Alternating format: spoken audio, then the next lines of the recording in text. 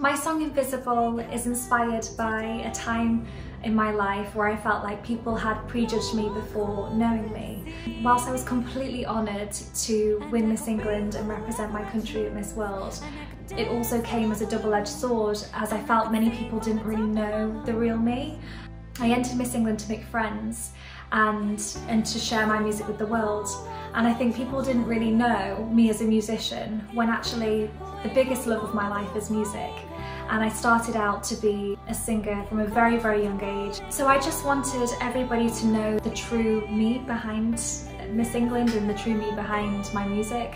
So that's my reasons for writing the song, but I also wanted people to take away from it that if there's a time when you're not really feeling that you're heard or that people get you, or you feel like you're being misrepresented or, or people don't really understand your true self, this is a song that you can listen to and just take comfort in knowing that it happens to all of us.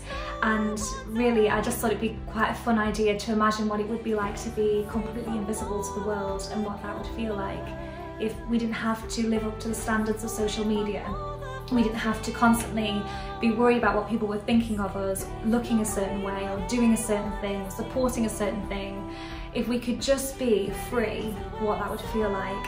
And so as well as, as the music and everything else, um, this song is really important to me to share that message with you all because I think social media today is all consuming for everybody, whatever age you are, whatever you're doing, even if it looks like you're totally enjoying it, it's really tough and it's really hard to not only share your life, but to compare your life with everybody else that's doing the same thing. And it always looks like somebody's doing something better than you.